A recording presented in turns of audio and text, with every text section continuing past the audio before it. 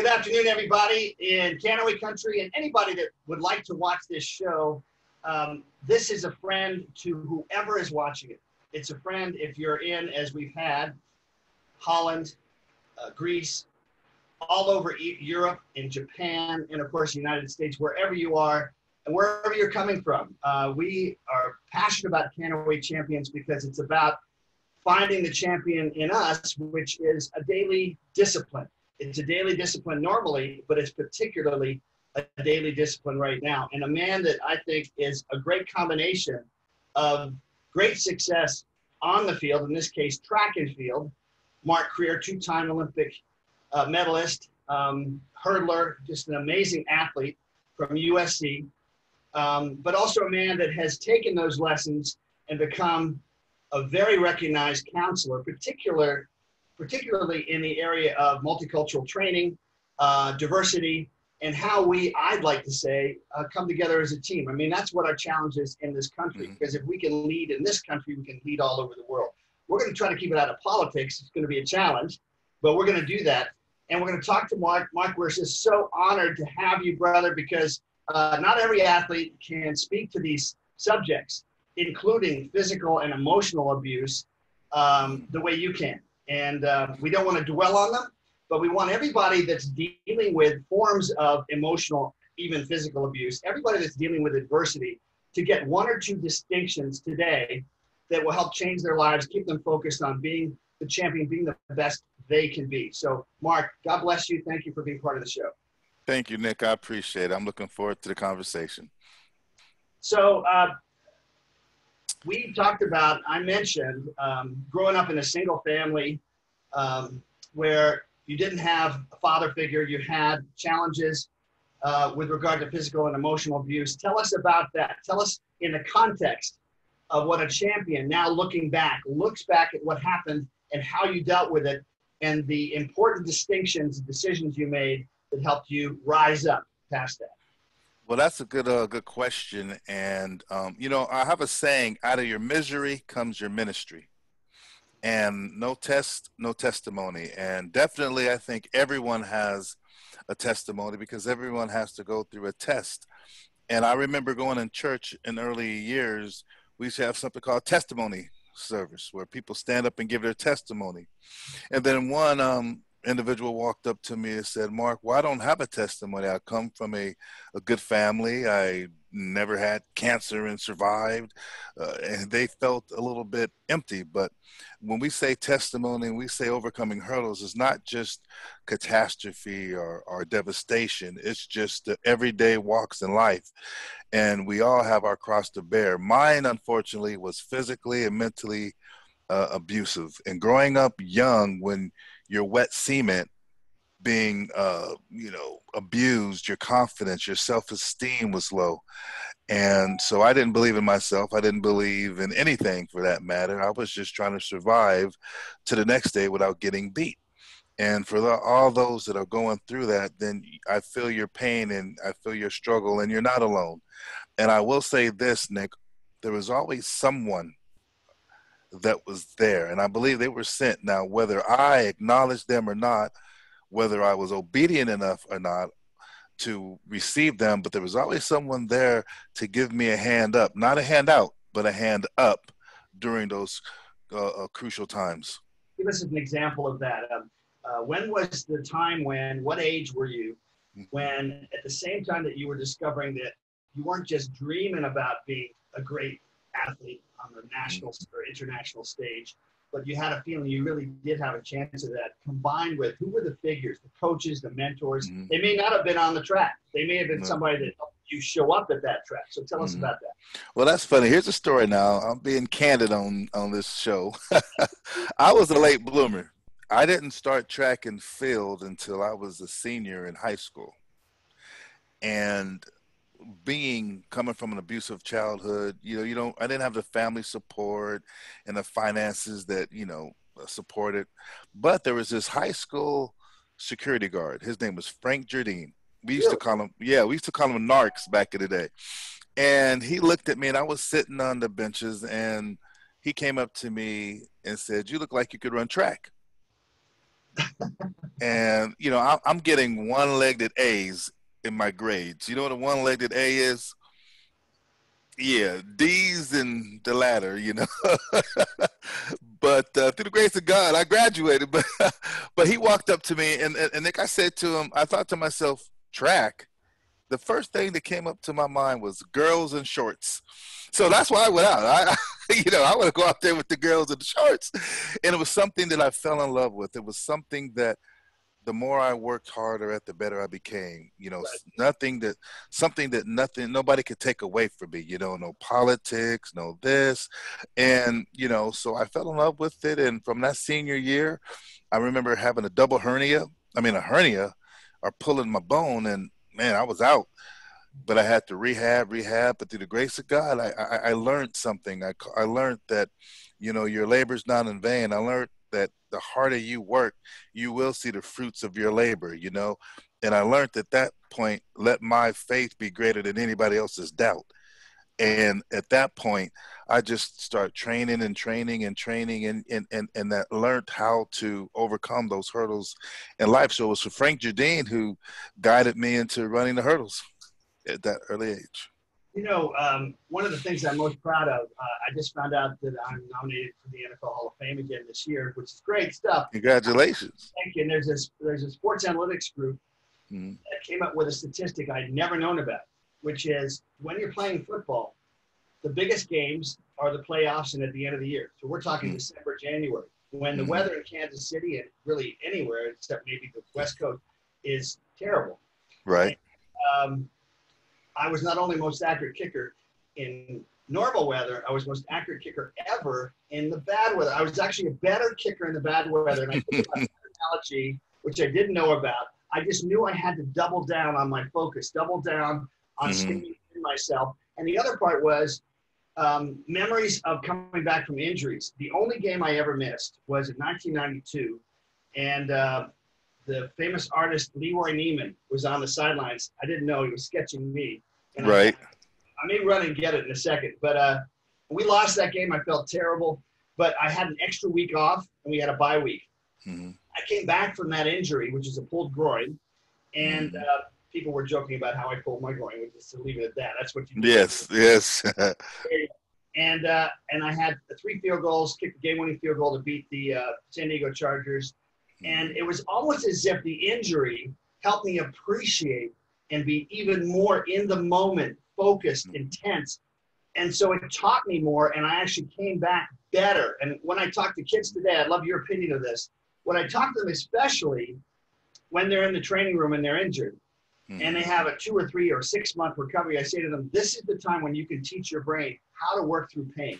Mm-hmm. How to work yep. through pain will make you that tough person that in the fourth quarter or the last 25 yards of the 120 hurdles or 110 mm-hmm. meter hurdles. Yes. Uh, you know, when you got to push it and you may even have just kind of know you pulled your hand and you still stride it out, cross that last hurdle and get the gold. So tell us about that. Tell us about uh, any insight you give to someone that's dealing with, let's say, coming back from COVID and having been in the hospital for a few weeks or mm-hmm. having had their family upended because a, a, family friend was was in COVID. Tell us what insight well, you. When I was yeah, when I was uh, during my competition, I had something called the four P's: purpose, passion, permission, and progression.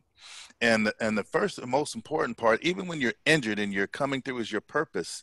You know, in order to, you got to answer the question why. And people say that, but your purpose and a goal is different. Your purpose is higher. Your purpose gets you out there when we were training in 110 degree weather. I remember when the NBA was on strike and I lived in Santa Clarita, California, Valencia, and it was like 109 out there on the track. And, you know, the guys called me, hey, Mark, why don't we go swim? And, you know, this is when like Kobe Bryant used to come over there and train. And he was like, let's go swim. And yeah, you know, because they had the lockout. And um, I'm thinking, man, I could go hang out with these guys.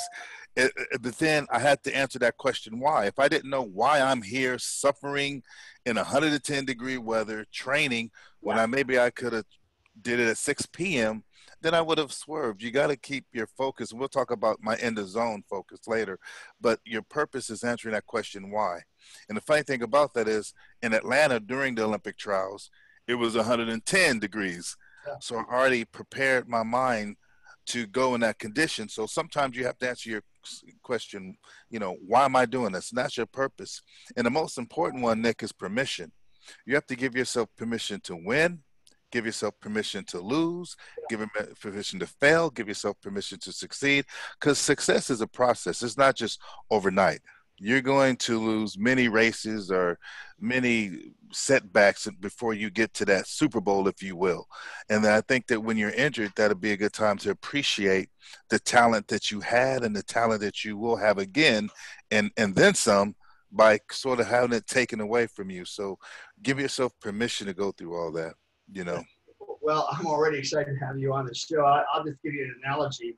Uh, mm-hmm. Harry Wilson was my mm-hmm. uh, teammate on the football and baseball teams in college. Mm-hmm. He uh, was father to a guy named Russell Wilson. Okay. Okay. Uh, I actually uh, called Harry when he was um, on his deathbed, and mm-hmm. Russell. Well, this is when he was a senior in college, and um, I didn't know Russell until I met him four years ago in Kansas City. Okay. But what Harry told Russell over and over again, and Russell has said this right after winning the Super Bowl. Mm-hmm is why not you, Russell?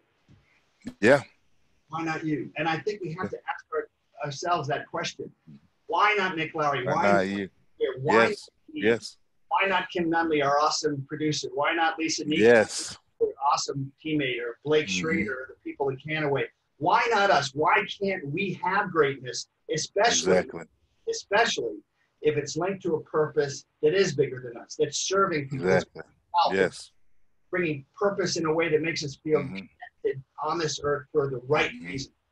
Mm-hmm. Yeah, that, I mean that is so true.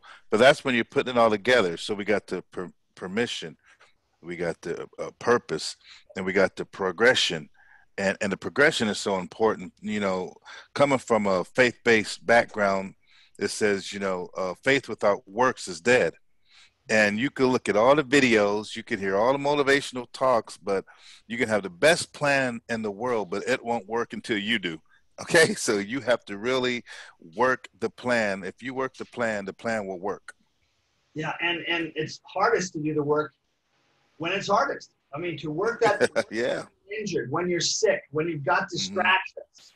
So the other part is when I talk to kids, and I'm saying this because I have a feeling you you are much connected to these messages. I say mm-hmm. to kids, you know, when I see today's players and I talk to them at training camps and in the off season, and they're talking about it's about the, the paper man, which is the money. And I'm going, it's not about the money. The money will take care of itself. And mm-hmm. your uh, career and your experience in sports, guys, and this is all the way down to eight year olds on the Little League football, sure. is learning to focus when you're exhausted and when you're bored. Because today's mm-hmm. kids are used to instant, not just gratification, instant reward, instant feedback. Yeah. Sometimes you're not getting that feedback, or the feedback yeah. isn't what you want. And you stick, yeah. stay focused because you're teaching your brain, which mm-hmm. is benefit from, yeah. your brain to stay with it longer than anyone else. That's mm-hmm. why the champion team, look at the Chiefs coming back in the fourth quarters down. Right. I know you like that. Uh. against, and then of course down 10 points again with just a few minutes left against San mm-hmm. Francisco mm-hmm. in the Super Bowl, which then had become a habit by right, right. Saying they had, knowing they had this edge and faith in each mm-hmm. other, then they knew 10, 10 mm-hmm. points. That's no big deal. They won by 11. Wow. Let me tell you the story real quick since we're going it in. Okay. I'll circle around. In 1996, I was at the Summer Atlanta, but two weeks before, I went to USC, but we were training at UCLA, and that's a crosstown rivalry, if you guys don't know. And I blame it on Drake Stadium, though.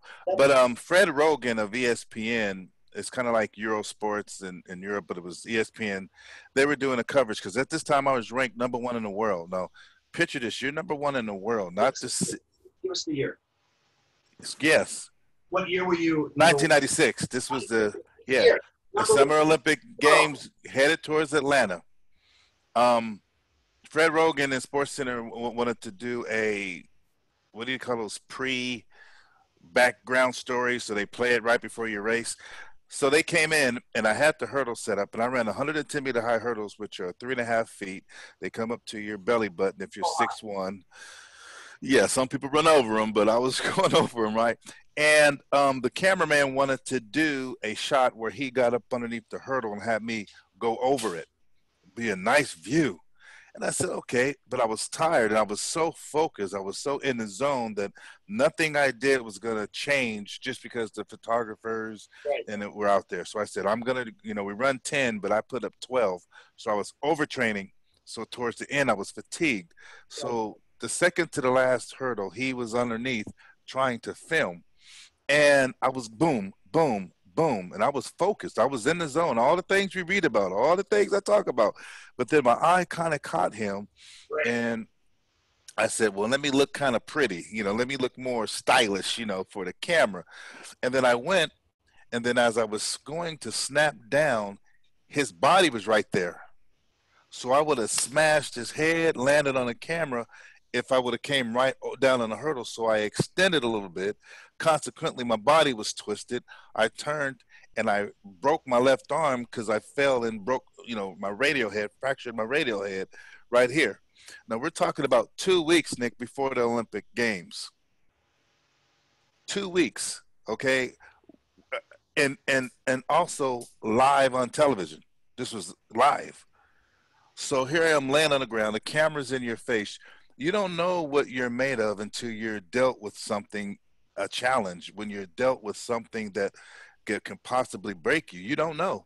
It's easy to give advice and encouraging, oh, you'll be okay, you'll recover when you haven't been through anything yourself. But again, no test, no testimony. So, two things at this time, Nick, challenged me. What am I going to say? because when you get hurt, those four little words come out and they're not love. Okay, they're not love words, you know, but they're right there. And I never forget this day, right there. My arm swelled up a little bit. And then, of course, you know, we rushed myself to first care emergency right there to get it x rayed. Of course, they came to. So I didn't have time to regroup. I didn't have time to be TV, yeah, TV ready. And so many times, you know, they get you right, you know, right when you cross the finish line, right when you do an interception, right when you missed the field goal. They're right there in your face. But that proves builds character building. So I never forget this. The doctor came out and he said, he giggled and said, I'm sorry, you're not running in the Olympics because you got a broken arm. The camera's right there. I wanted to, you know, I want to give him a George Mike Tyson, you know, right there. But again, the camera is right there. And I kid you not, two seconds later, I get a call from the USOC, United States Olympic Committee. It was a fourth place person saying, Hey, Mark, I'll take your place in the Olympics. I haven't even dealt with this, you know, but they're calling because, you know, he's an alternate. Yeah. But uh, through through all that, and there, there's a bigger story that I can share with you later. But let me just share real quick. I get two minutes, right? So then we go through all this, Nick, and then um, I'm just in shock you know and i said well you know what give me some time to think about it i was sponsored by nike. They said hey we'll honor your contract. We'll give you the bonuses. It's on television. We understand. You know we, we can make a good st- spin on it. You know could have ran broke his arm you know woody woo sad story. But i went home and i consulted my you know master coach which is my lord and savior right? God. And and um he said you know you're gonna finish it. Finish it so I said, no, I'm going to compete. Now, here's the twist of this story. I got a phone call, and it was this guy, and we know him around the track field. He said, Mark, we'll get you ready in two weeks. And I'm like, "Could I prayed.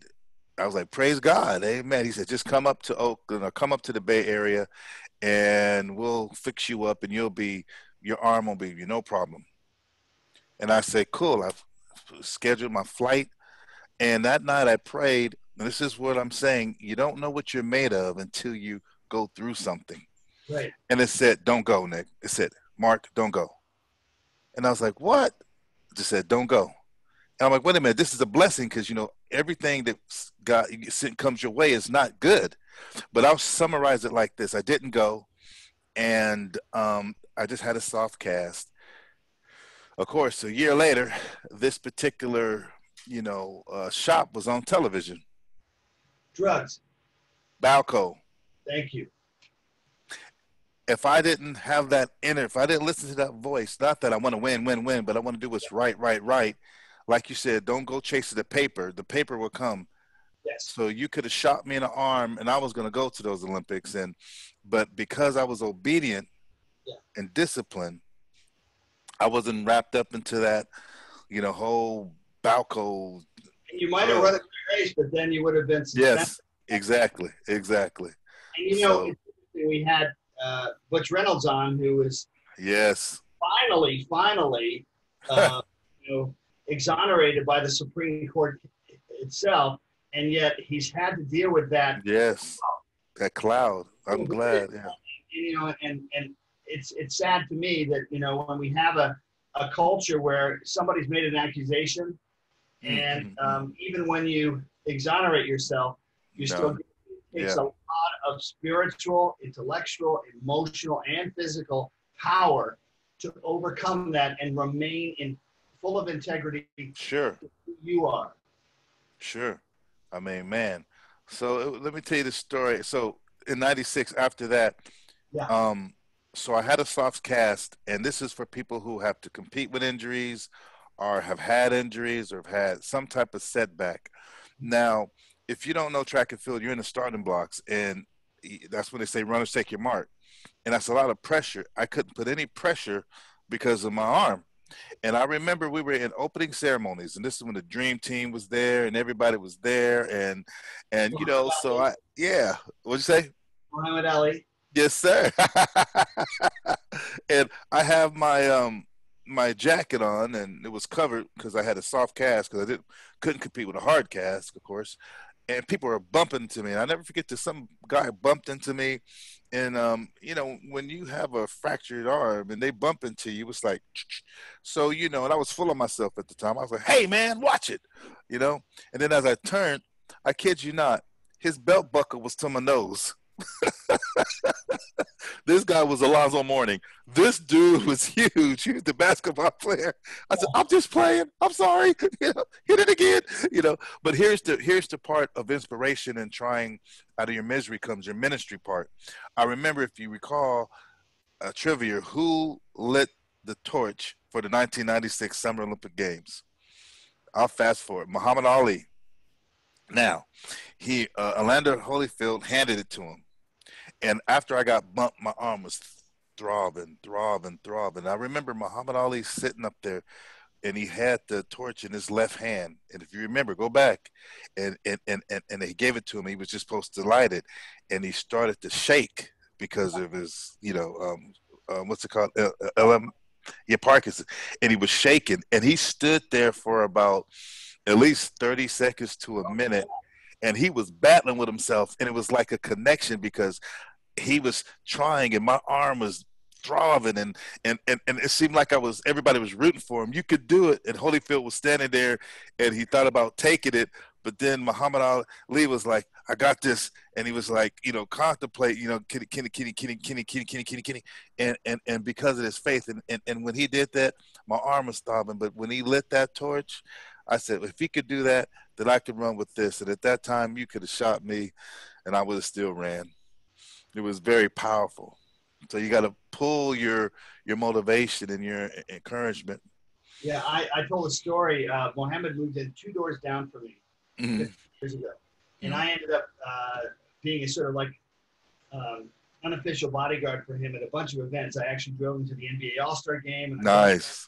room with LeBron and the Mhm.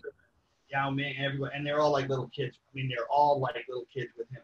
Yes. I tell the story, and I, I mentioned before. Uh, Dayton Moore, the general manager for the the uh, Royals, two years Okay. before he went to the World Series, and I like to think this added a little bit.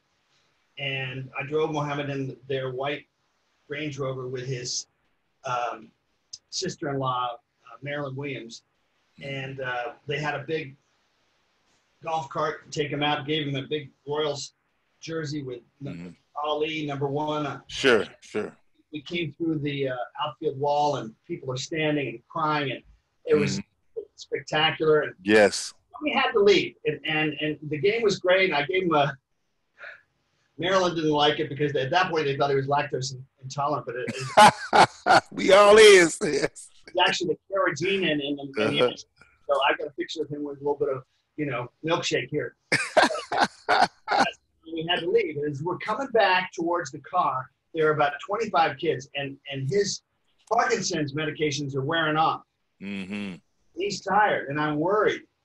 And I, this is such a beautiful expression of exactly what happened in that moment at the 1996 Yes. uh, lighting ceremony that you witnessed, because suddenly his Parkinson's just stopped, Yes. stopped shaking, and he sat in Mhm. that car, and kid after kid, Come on now. Yes. five year old sat on his lap, and you have never seen. I don't care what religion you are. You've No. never seen so much angelic, just pure love, love.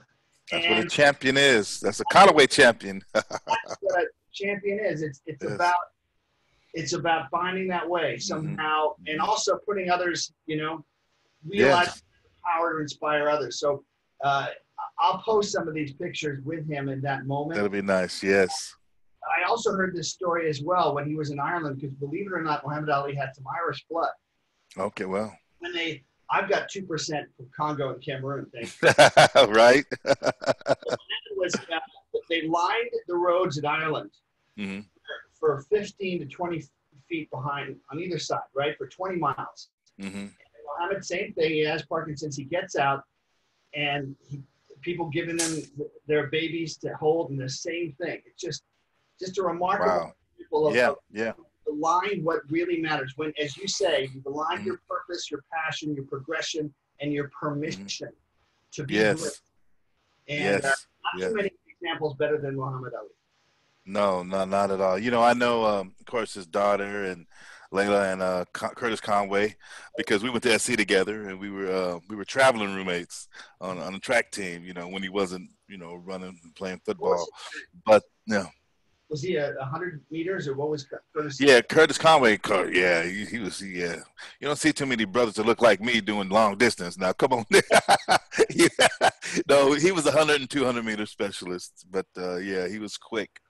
So that was good times, and and and I remember, and there's a, a a part of the story that goes on, and this is what I want to convey to everybody about, you know, focus and and and finding that, you know, a champion has an itch that they can't scratch, and part of being a champion is being able to give.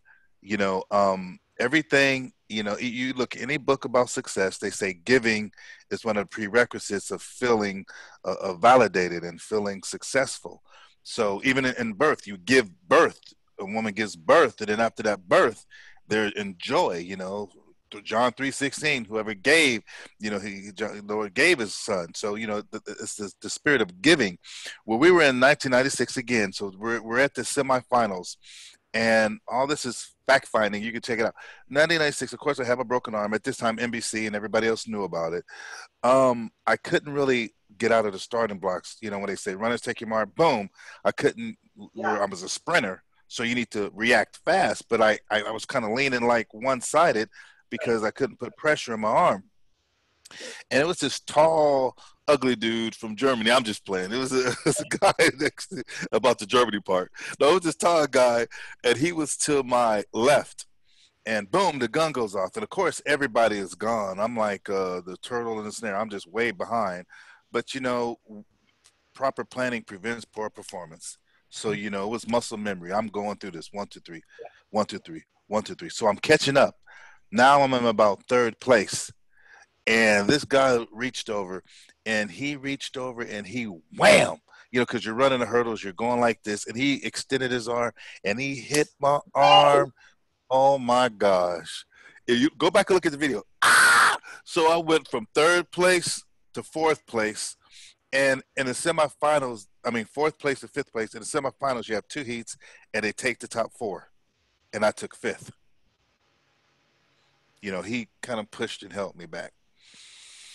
Now, mind you, I'm a silver medalist at this time, so something happened. Again, you don't know what you're made of until you have to go through something. Adversity builds character in a way that no textbook can teach you. So we crossed the finish line, and of course, right in front of my face, you know, I was ranked number one in the world. Mark, you didn't even make it to the finals. How do you feel? So on and so forth. And you know, my my flesh, my first inclination was like, let me go curse this dude out with my right arm. let me give him a left, a little right hook. You know, he cheated, but I just, you know, I just walked away. The good thing about it is, United States, um, USA Track and Field, United States Olympic Committee did a protest. They filed a protest. They went back and saw the video, and they disqualified him, which he took fourth. So that fifth place made me elevated me to fourth place, and the and the story begins. Yeah, well, you know, something about loyalty. Yeah. You know, the Olympic Committee realizing they had an obligation and then following yeah. through quickly to do that. Um, maybe a little bit of extra respect for you too, so they didn't screw around. Who knows? Yeah.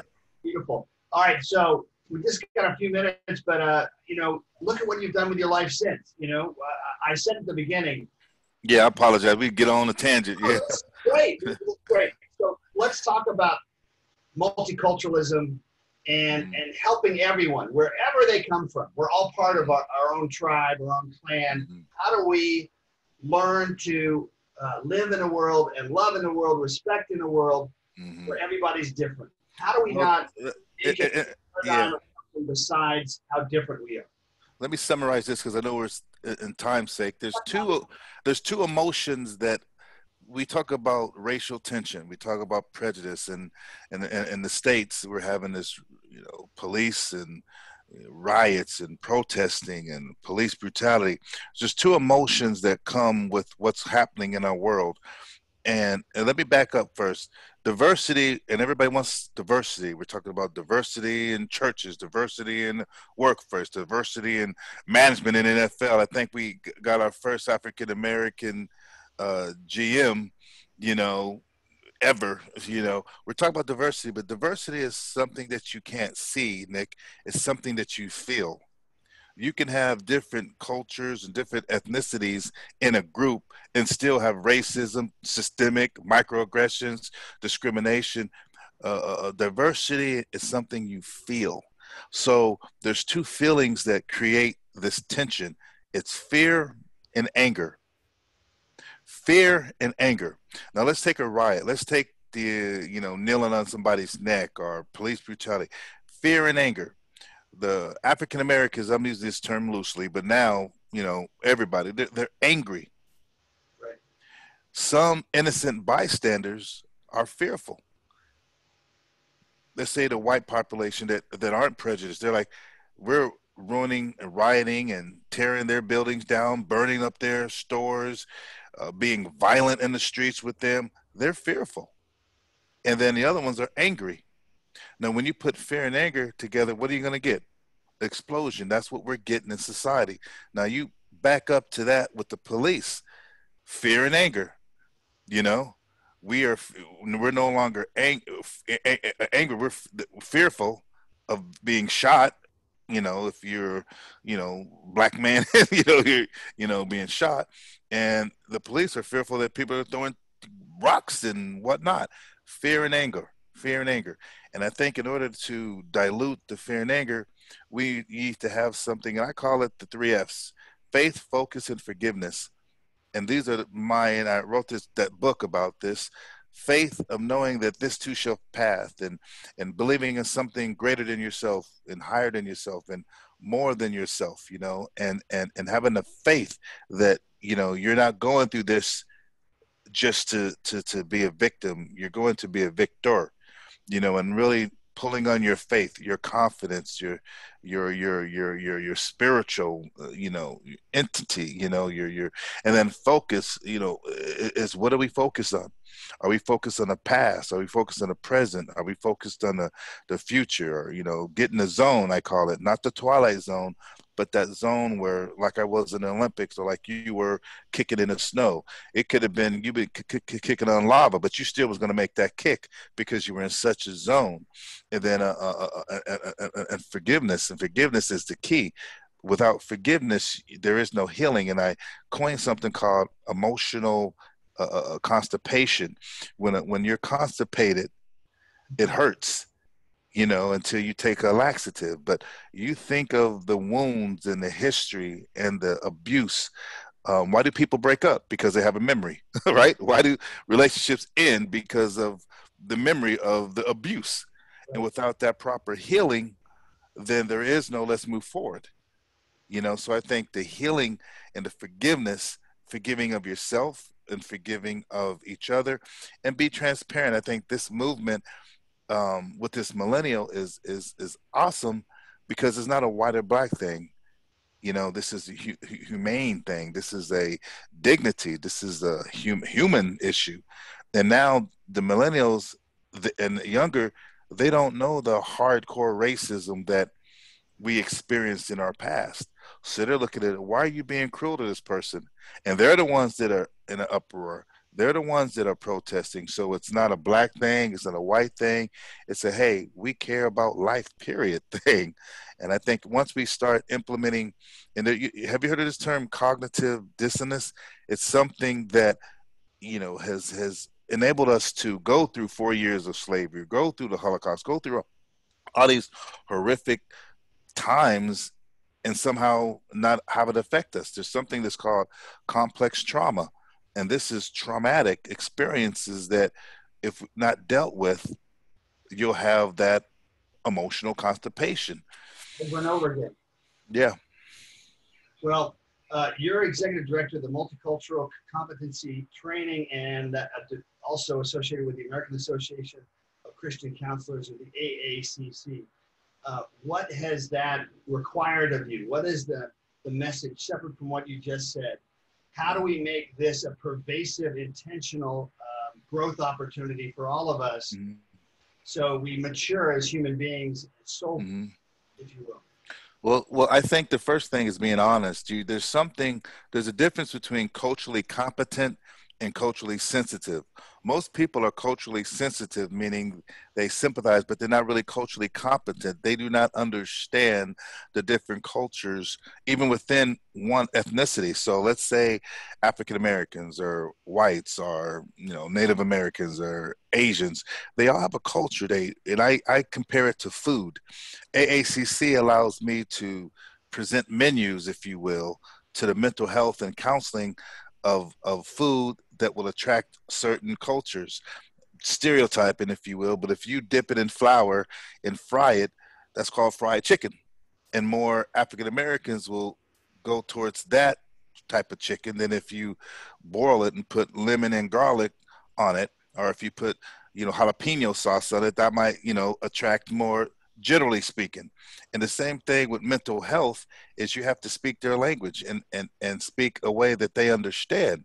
It, you know, if you have just seen your brother shot, you know, and he has no weapon, and then you know you uh, vent and then get you know and protest, and then you have to have 52 weeks of anger management because you you know were throwing rocks through a window, then you're sitting there with a counselor that looks like the same person that shot your you know, shot your brother, how are you gonna relate?